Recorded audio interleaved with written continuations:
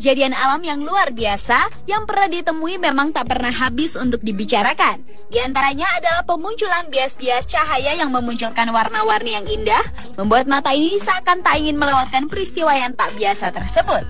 Berikut Anda Spot merangkumnya dalam tujuh fenomena cahaya yang menakjubkan.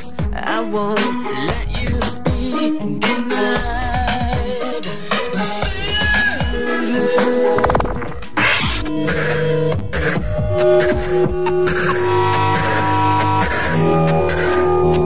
Diawali dengan fenomena cahaya bola api. Pada tanggal 4 Februari 2010 lalu, penampakan cahaya bola api dilaporkan melintas di langit Irlandia sekitar pukul 18 waktu setempat. Cahaya menakjubkan berupa bola api tersebut merupakan batuan angkasa yang meluncur turun dengan kecepatan 100.000 mil per jam atau sama dengan ledakan bom atau kecil di angkasa. Astronom Irlandia David Moore mengindikasikan bahwa benda langit itu mendarat di daratan bukan di lautan. Sementara Terry Mosley dari Asosiasi Astronomi Irlandia mengatakan kemungkinan benda tersebut adalah asteroid kecil, yakni bagian dari batuan angkasa yang berbenturan dengan bumi dan terbakar di atmosfer yang sangat tinggi. Benda tersebut terbang melintasi sebagian besar wilayah Irlandia dari selatan ke utara dan ada peluang jatuh sebagai meteorit di suatu tempat di Ar Armad.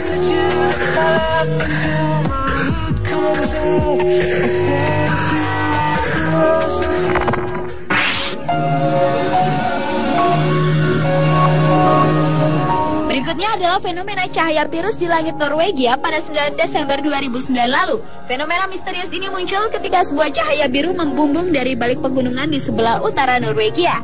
Cahaya tersebut kemudian sempat berhenti di udara lalu mulai berputar. Dalam hitungan detik, spiral raksasa tersebut memenuhi seluruh langit Norwegia. Dan kemudian sorotan cahaya hijau kebiruan melesat dari pusat spiral. Kejadian ini berlangsung selama kurang lebih 10 hingga 12 menit hingga akhirnya menghilang begitu saja. Para saksi mata yang melihat fenomena ini menggambarkannya sebagai bola cahaya besar yang berputar mengeluarkan sinar yang indah. Ada pula yang menyebutnya sebagai bintang yang berputar-putar.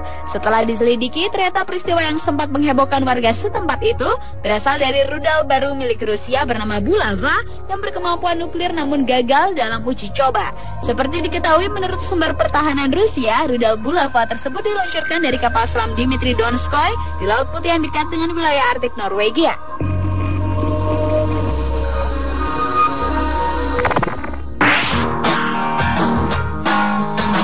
Berlanjut ke fenomena cahaya yang menakjubkan yaitu sun pillars atau pilar matahari. Kejadian alam ini timbul ketika matahari yang tenggelam memantulkan tinggi awan es pada lapisan yang berbeda. Namun cahayanya dapat juga datang dari bulan atau dari sumber-sumber terestrial seperti lampu jalan. Hal ini menghasilkan pilar cahaya yang tinggi menjulang hingga ke langit. Pilar matahari sering nampak pada musim dingin di mana suhu suatu daerah mencapai di bawah 10 derajat Celcius. Karenanya daerah yang berada di garis khatulistiwa seperti di Indonesia tidak akan mungkin bisa melihat fenomena ini. Dan fenomena pilar matahari terakhir terlihat di Swedia pada Desember 2005 silam. Fenomena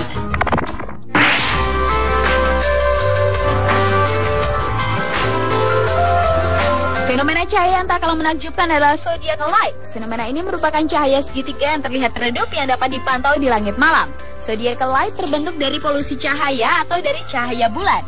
Ketika cahaya matahari memantulkan partikel debu atau yang biasa disebut debu kosmos, sebagai akibatnya spektrum tersebut menjadi sama dengan sistem tata surya.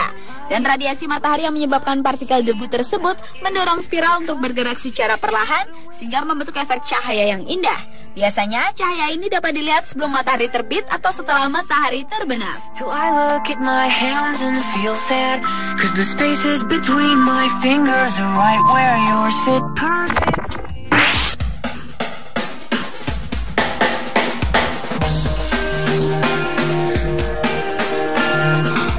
Selanjutnya adalah fenomena cahaya aurora borealis. Fenomena ini adalah berupa pancaran cahaya yang menyala-nyala pada lapisan ionosfer dari sebuah planet sebagai akibat adanya interaksi antara medan magnetik yang dimiliki planet tersebut dengan partikel bermuatan yang dipancarkan oleh matahari atau angin matahari. Di bumi ini, aurora terjadi di daerah sekitar kutub utara dan kutub selatan. Aurora yang terjadi di daerah sebelah utara dikenal dengan nama aurora borealis sesuai dengan nama Dewi Fajaroma Aurora dan nama Yunani untuk angin utara Boreas. Ketika di Eropa aurora sering terlihat kemerah-merahan, maka di ufuk utara terlihat seolah matahari akan terbit. Aurora borealis ini terjadi di antara September dan Oktober maupun Maret dan April. Sementara itu, fenomena aurora di sebelah selatan dikenal dengan aurora australis. Mempunyai sifat-sifat yang serupa dengan aurora borealis, namun terkadang aurora ini muncul di puncak gunung di iklim tropis.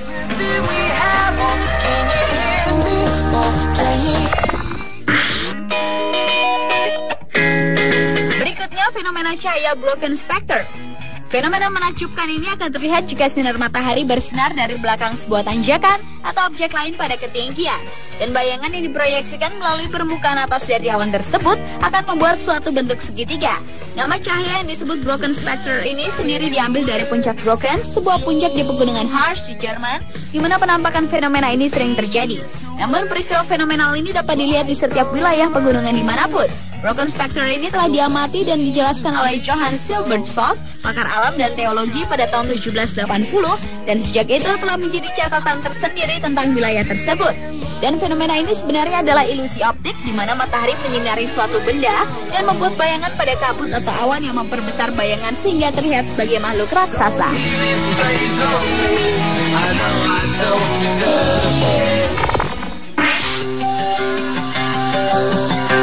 Dan fenomena cahaya yang terakhir adalah Belt of Venus atau sabuk Venus, yaitu salah satu fenomena atmosfer yang muncul pada saat matahari terbit atau pada saat matahari terbenam. Cara terbaik untuk melihat sebuah belt Venus adalah ketika cuaca sedang tak berawan, tetapi efek yang ditimbulkan adalah akan keluarnya debu-debu di sekitarnya. Pada saat muncul, Belt of Venus akan mengeluarkan cahaya merah muda yang bercampur dengan warna kecoklatan dan sering kali cahaya tersebut dipisahkan oleh lapisan gelap yang merupakan bayangan gelap bumi yang berasal dari langit dengan bentuk memanjang sampai ke cakrawala. Warna cahaya ini berasal dari pengaturan cahaya matahari dan efek yang sama dapat terlihat pada saat gerhana matahari total. Venus ini dapat dilihat di beberapa tempat di belahan dunia dengan cuaca yang memungkinkan munculnya fenomena tersebut. Itulah ketujuh fenomena cahaya yang menakjubkan versi on the spot.